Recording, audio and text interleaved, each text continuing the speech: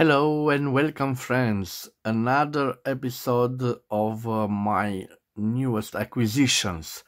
This time I have for you a beautiful, beautiful desk set from the 1930s or 1940s Italy.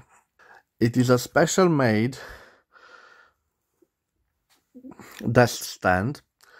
You can um, see that it, it is a imprint here and I hope I read it correctly, Ipofosfiti Guidotti. And this particular name, I did some um, questioning on some Facebook groups, and um, I found out that this is an Italian chemical pharmaceutical um, company from that period, from the 30s, and it is still in activity in um, present days. I don't know about the lighting, but I want to show you the patterns. It has some little marks and I don't know how to remove them. You can see them. But um, the marble is quite, quite uh, interesting. It has uh, some um, yellowish lines, some green lines, and overall a beautiful, beautiful stand. Quite heavy, but um, it's solid. It has some little uh, chips. Look, one here, one here. But for its age, it is in a beautiful, beautiful shape. It has this system, so you can rotate.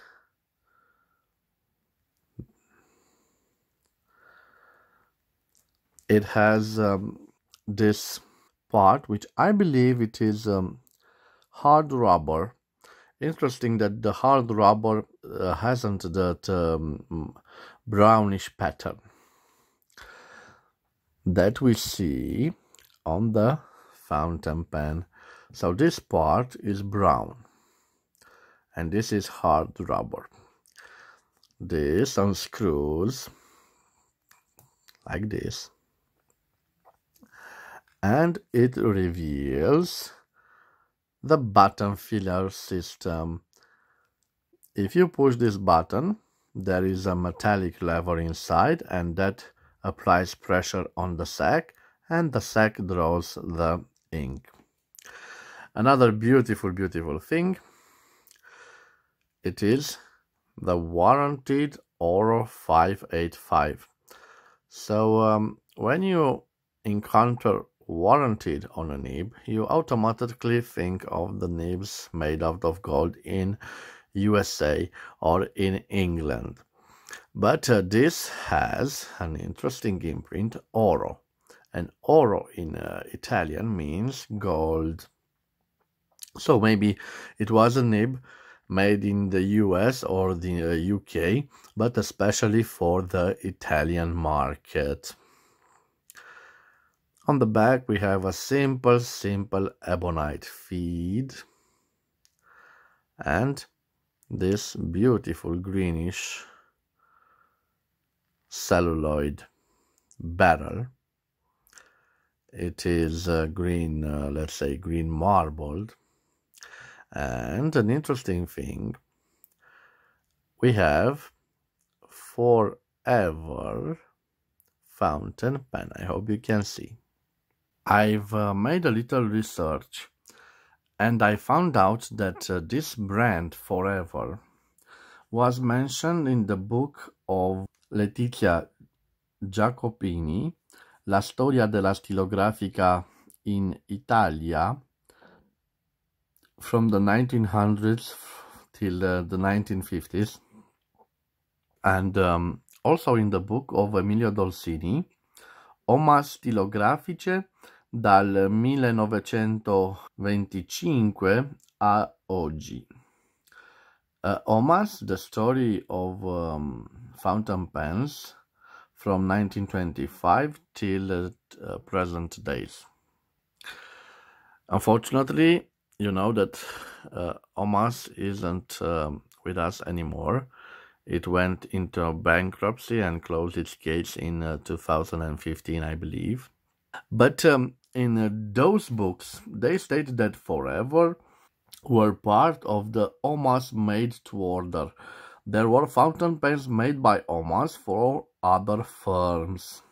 And Letizia Jacopini, uh, she's, she is uh, on the opinion that not all the For Ever fountain pens were made by the OMAS uh, fountain pen company. So I have to do my research to see if I find on this fountain pen similar elements that were that were found on other OMAS products from that period and um, I will know that uh, this uh, forever was made by OMAS or by other Italian manufacturer at that uh, period of time.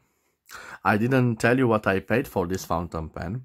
I paid 52 euros or uh, 57 American dollars. So including the stand. And uh, I think I did uh, okay. It is a good price for uh, such an important piece of Italian fountain pen um, history. A beautiful, beautiful example from the 1930s or the 1940s indeed made for this pharmaceutical company directly by OMAS or subcontracted by other pen manufacturers. But I believe this is an OMAS product by this uh, stand of high quality and uh, by this uh, rotative system, which is quite a qualitative, um, ingenious method from that period.